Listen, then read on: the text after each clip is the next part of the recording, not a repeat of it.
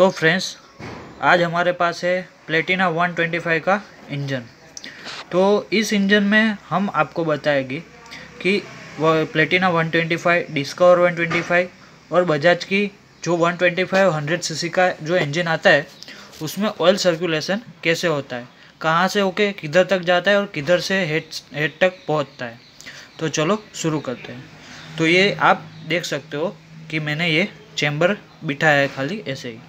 तो ये जो झारी आता है बोल्ट के साथ, ये जो झारी रहता है, वो जो हमारा ऑयल रहता है, उसके अंदर जो बड़ी एमरी रहती है या थोड़ा बड़ा कचरा रहता है, वो साफ़ कर देता है। वो साफ़ करके आप देख सकते हो कि ये अभी हम जब ऑयल डालते हैं, एक लीटर या 900 सौ तो ऑयल का लेवल इधर तक रहता है, इतना। तो उतना लेवल लेवल रहता है। जैसे कि मैंने आपको वो साइड झारी दिखाया तो ये जो झारी है झारी का होल ये इधर है, इधर तक झारी आता है। तो इधर से होके ये ऑयल पंप है, अपना वो ऑयल खींचता है और भेजता है इधर आगे ऑयल फ़िल्टर वाला जो गैलरी है उधर तो इधर से ऑयल खींच के ये गैलरी में भेजता है। ये गैलरी से होके ऑयल इधर तक आता है। इधर से होके जो अपना ये क्लच कवर है पूरा तो क्लच कवर में गैलरी दिया हुआ है, इधर तक पूरा। ये तो ये जो इधर ऑयल आया, बराबर? तो इधर से होके ये जो अपना ऑयल फ़िल्टर वाला गैप है, उधर आता है। तो इधर ऑयल भर के ऑयल फ़िल्टर होके, ये जो बड़ा वाला होल है ऑयल फ़िल्टर का सेंटर वाला होल उधर से ऑयल जाता है सीधा ये वाली गैलरी पर। तो ये वाली गैलरी पे इधर से इधर तक ऑयल आया, इधर से होके इधर आता है।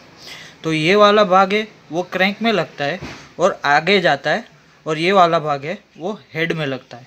तो दिखाता हूँ मैं आपको। तो ये जो भाग है, वो अपना ये इधर ऐसे बैठता है, बराबर? तो ये आया अपना क्रैंक के पास ये वाला भाग। तो उसके ऊपर लगता है अपना पिन। मैं दिखाता हूँ।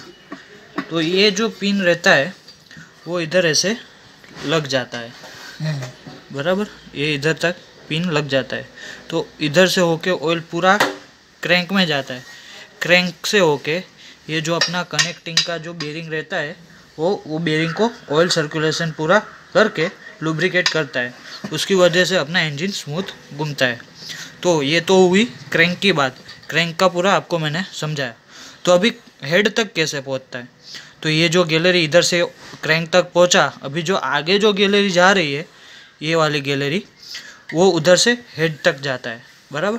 तो जैसे मैंने आगे बताया, वैसे इधर तक ऑयल आया ऑयल पम्प से होके, ये गैलरी तक, ये होल तक। ये होल इधर मैच होता है, जब हम कवर फिट करते तो। ये जो इधर मैच होता है होल वो ऑयल को आगे ले जाता है। तो देख सकते हो, ये वाला जो होल है अपना, वो ये इधर से होके पूरा सीधा होल है। तो ये दिख रहा है आपको होल तो इधर आता है। तो इधर ऑयल आया तो ये मैच होता है सामने की साइड पे इधर।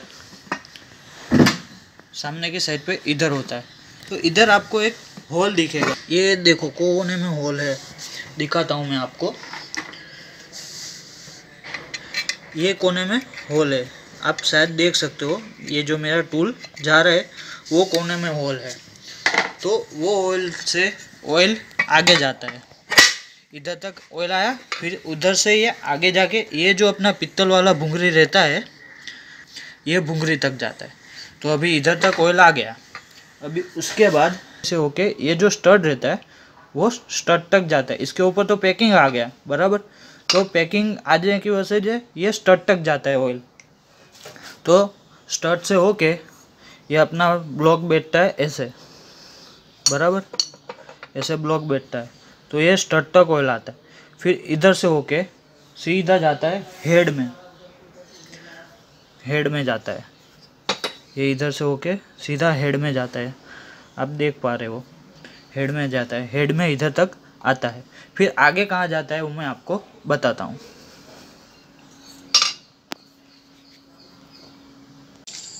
तो आगे जैसे मैंने आपको बताया कि ब्लॉक तक ऑयल कैसे पहुँच रहा था उसके बारे में मैंने पूरा आपको बताया था और हेड का ऑयल कैसे पहुँचता है, वो बताऊँगा। तो इसीलिए देखो, अभी इंजन गाड़ी में लग गया है और जो अपना बोल्ट था, जहाँ ऑयल आ रहा था, वो लगा दिया है। तो अभी आपको हम दिखाएँगे कि कैसे उधर तक ऑयल आता है। तो अभी शुरू करते हैं। ये हमने इधर अपना कैम साप निकाल दिया है और टाइमिंग चन पकड़ लिया है हाथ में, बराबर। और अभी किक मार के इधर तक ऑयल कैसे आता है वो दिखाते हैं।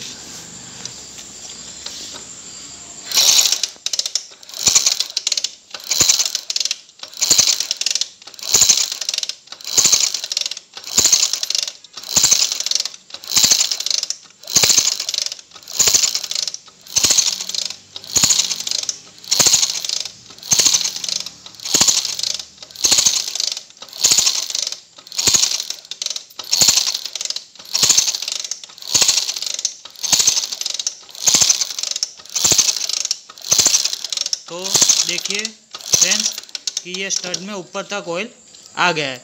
अभी हम ये स्टड को टाइट कर देंगे।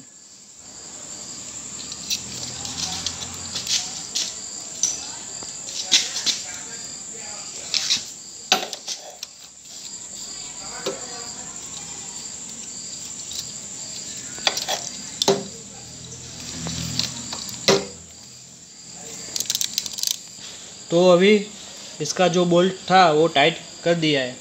और इसका ऊपर का प्लेट हटा दिया है, ताकि आप सबको हम दिखा सकें कि कैसे इसका ऑयल ऊपर तक आता है। तो अभी हम वापस, पहले जैसे प्रोसेस किया था, ऐसे ही प्रोसेस करेंगे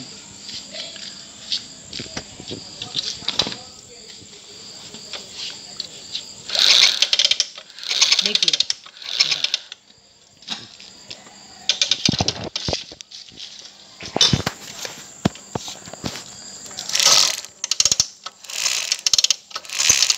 तो आप देख पा रहे होगे कि ऑयल इधर, ये होल में आना शुरू हो गया है।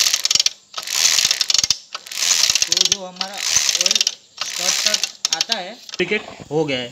तो इस प्रकार से इसका पूरा टाइम ऑयल लुब्रिकेशन होता है।